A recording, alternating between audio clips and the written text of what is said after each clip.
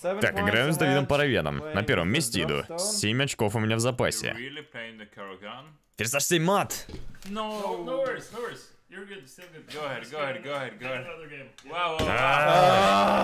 Ну как я на такое попался?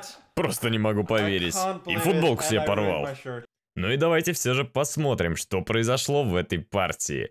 Итак, Давид Паравян ходит Е4, Магнус отвечает С6, и после Д4, Д5 защита Каракан, черные ударяют по центру. Белые защищают пешку, и после взятия размена на Е4, черные выводят коня и готовы на размен. Белые размениваются, и после взятия на F6 черные получают вот такую пешечную структуру, но она на самом деле даже хорошая защита для черного короля после рокировки в короткую сторону. Партия продолжилась ходом слон d3. Давид Паравян уже начинает прицеливаться на пункт на h7.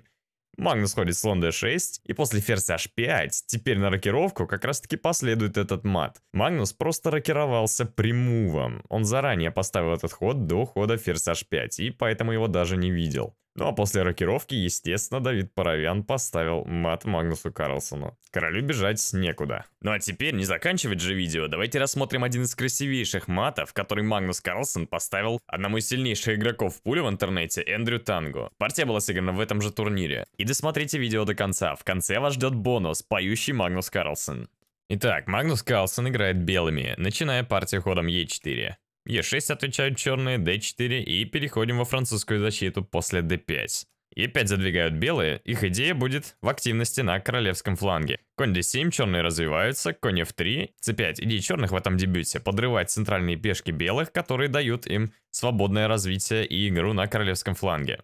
c3, поэтому белые укрепляют свой центр. И после конь e7, слон d3. Конь c6, черные продолжают свой план с давлением на пешки.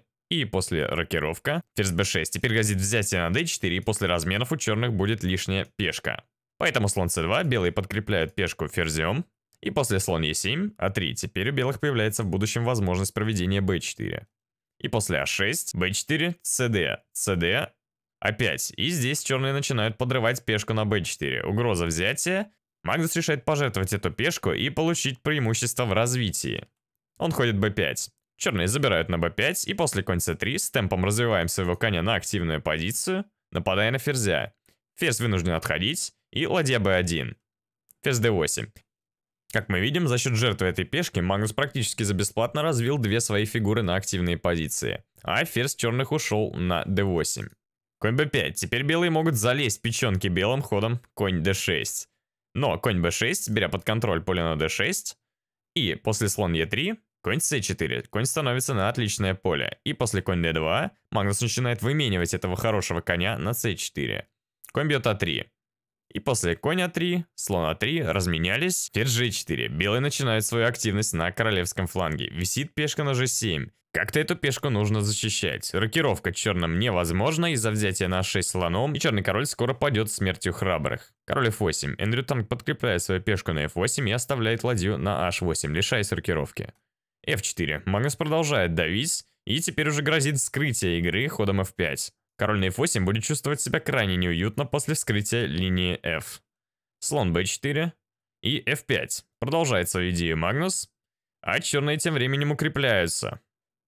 f6, угрожая следующим ходом взять на g7 вилкой на ладью и короля. Поэтому g6 черные обязаны уже так ходить. Конь f3. Переводим своего неактивного коня с d2 поближе к кухне. Например, на h4 и где-то ударим на g6. h5. Черные нападают на ферзя, но ослабляют поле на g5.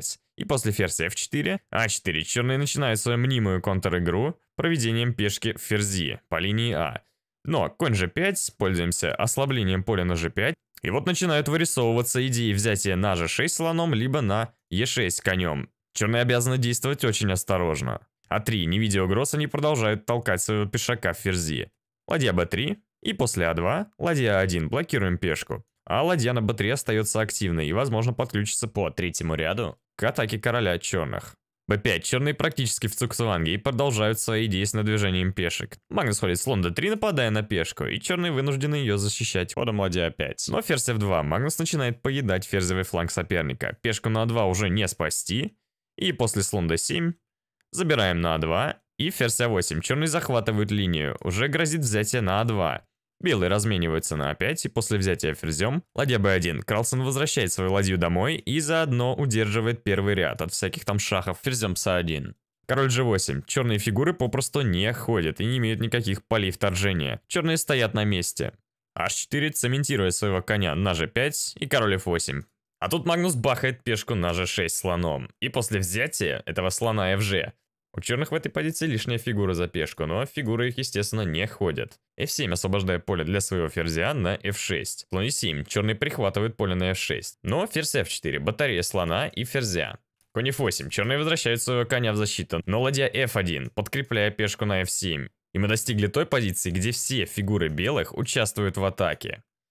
Ферзь c3, и в этой позиции у Магнуса находится нокаутирующий правый хук. Конь h7 шах, жертвуя своего коня. Единственное отступление это на g7, но в таком случае последует ферзь h6 мат в один ход. Поэтому черные забирают этого коня, чтобы не получить мат сразу, но в таком случае Магнус продолжает жертвовать. Жертвуя своего ферзя на а6, еще один шаг. Если не брать этого ферзя и, например, пойти ладья g7 перекрываясь, то последует мат два хода. Ферзь h8 шах, и после единственного перекрытия ладьи на g8 мы берем на g8 и проводим ферзя. Красивый мат двумя ферзями.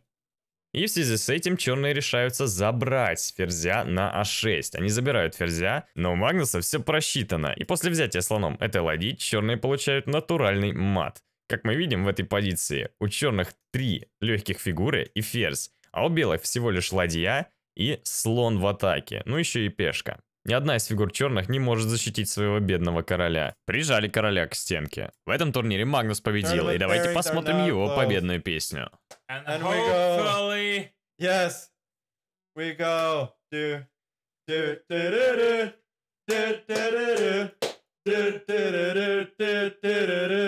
did it!